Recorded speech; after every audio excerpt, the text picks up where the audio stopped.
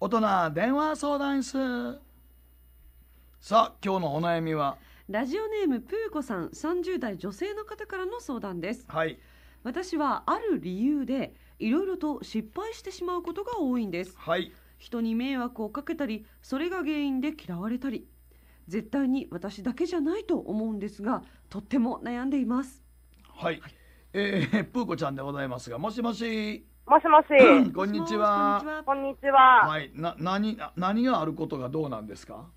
えっと、あの、このお昼の番組で言うのもなんですけれども、ほうあの、よく、あの、ガスが出るんです。あおならですか？はい。ほう。えそれはえどういうこと？そんなによく出るってことですか？そんなによく出るんですよ。ほう。えええ？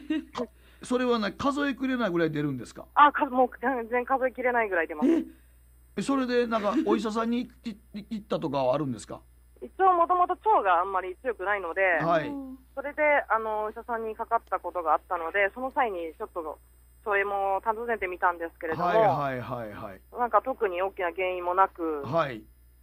まあ、出るのは健康の証拠だっていう感じで、なんか妙に励まされて終わったわけですね。はい、そうなんですよ。おお、それで何かこう、まあ、まあ、そそこら中で知っててもちょっとまあ、えーなんか仕事場とかでもちょっとやっぱ外へ出て行ったりとかするんですか？いや、もう仕事場ではもう、もう、ちょっと、あの、飲食店なので、ちょっと雑音が多いので、あーもうそのまま紛れて、あ、立ち仕事の中で。はい。はいはいはいはいはい。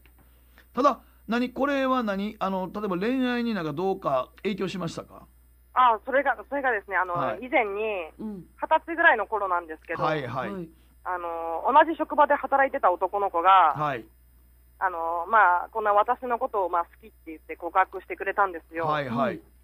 で、まあ、あの、私とちょっと考えさせてくれっていう期間をちょっとはい1週間ぐらいもらっていて、はいはい。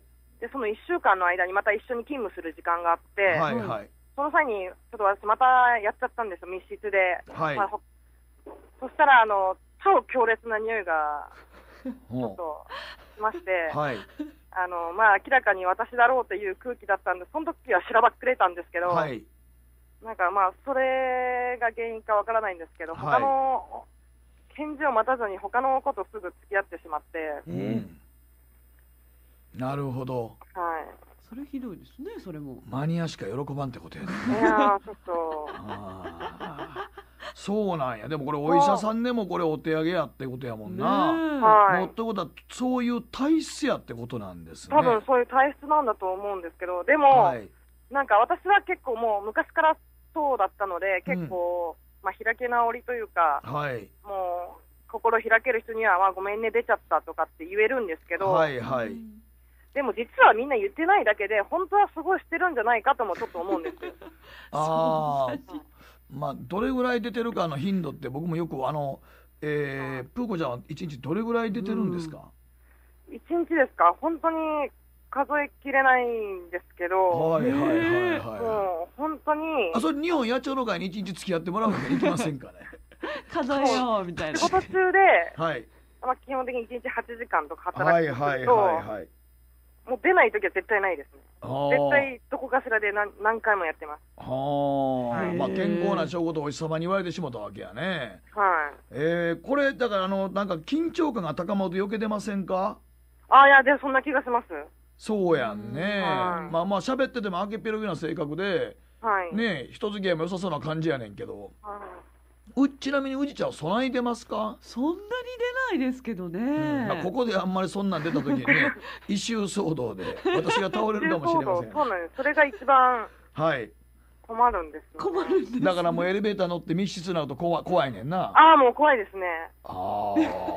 でまた緊張感走りますし、ね、緊張感はい人が増えれば増えるほどもう自分の緊張感がね、うん、はいエレベーターとか、うんああ困ったなあそうか。まあ付き合う男にはこれも言っとくしかないもんな。そうですよ、ね、そうなんですよ。だからそれでもう30代なんで、はい。これから、この体質を分かって付き合ってくれる人とかが見つかるのかっていうのも、ああいやお別にね言ってもうてたらねもうそれ慣れたら可愛いもんやでそうですか？ね。あのもう今うちのおふくろ80ですけど、まあこのラジオもねあの録音して送ってあげてますけど、うんたまに実家に戻るとね料理作りながらね、ようこんだけ何かの推進力かと思うぐらい超えてます。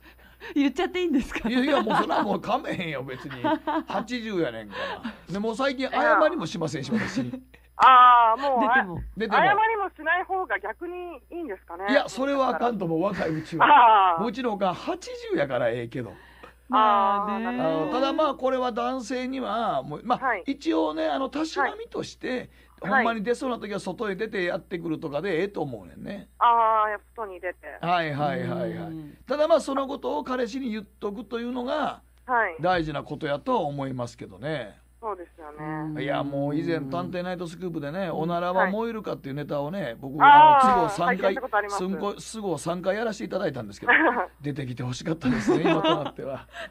意外とテレビカメラの前でなんか出ないんですよみんな。緊張しちゃって。緊張して今度逆に出ないんですよ。出ないんだ。出ない方か。そう。そうろうそく立ったらろうそくの上におならして青い白い光出すとかね。大変やっいや、たんですからもうそこまで行きたいですね、逆に。もうここまで来たら。極めたいと。いやそんな芸人みたいなことせんでも、確かに。僕らもうみんなで温泉入って泊まってうん。ろうそく立ててもう浴衣の上からお尻向けてうん。一生懸命もうごぼうも食べてなんやかんやしてやってましたから、どれが効くかなみたいなね。そうそうはい。うん。でもまあそれはもう、そううん、もう明けっぴろげでちゃんと付き合う人に言うしかないよねこれは。あと一緒によくおならを出し出せる人？そうや同じような人？あああ同じメロディーを奏でられる人。あ、ああ、はいはないるほど。はい、うん。うちちゃんの友達に二人おるらしいあですよ。そうそう。おカああ、ップルで。紹介していただきたいです。いやいやうちらの友達 カップルで。カップルなんですもう、はい。おならで会話しちゃってるっていう。ああお互いテレビ見ながら横向きながらプップップップ。ップみたいな楽しんじゃってるカップルいますから。はあうんい。るんですね、そういった方が。いますい。ます。だからあそういう人と出会えるといいですね。そうああ、そういう人と出会あ、うん。いや、いるっていうのですごく安心しました。いやだからもうほんまにはいあのおならよく出る人ってお男性でもいますから、はい。うんまあでもせやから言うてね付き合う時になって あんたおならよく出るとかって言うのもどうかと思いますけどもね。最初から。でも最初からもう言っとく方がええと思いますけどね。たしなみとしてはあとは外でなるべく極力人前でしないってことをやっとくしかないですもんね。ああ、そうですよね。ただまあうちちゃんとこの友達みたいにおならでも会話できるような、うん。はい、あそういうカップルがおるってこともあることなん。で、はい。はい。あんまり落ち込まないでくださいねそのああ、ありがとうございます。はい。どうはい。もぷーこちゃんありがとうございました。はい、ありがとうございました。はい。まあでも異常に臭いおならはちょっと困んねんけどな。久しぶり初めてや俺インターネットでおならのこと今日調べさせてもらった。もう強烈な一周が漂う時どういうものが出てるかとかね。いろいろ調べてましたねそういえばも打ち合わせうほんまに、まあ、探偵ナイトスクールで面白かったのがそのおならを燃やすっていう時に、うん。とある滋賀県のお坊さんが来てくれはってね。おおほんでその時にあの何何言うたかった盆さんがへをこいたっていうのをやりたいってことで言ってはったんですけどね東京はだるまさん転んだけど大阪は盆さんがへをこいた。いたね。うん。匂いだら臭かったまでついてますけどね。はい。ということでプーコちゃんも明るく生きていってください。ありがとうございました